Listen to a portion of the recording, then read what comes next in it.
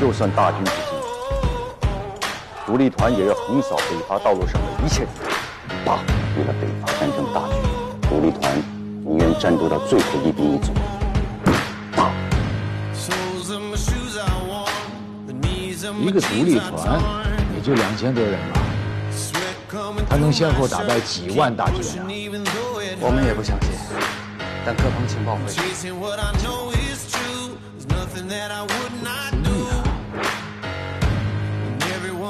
笑话！叶挺一不请功，二不求赏，千里北伐一直打到五常。当年岳飞、徐达的战绩也不过如此。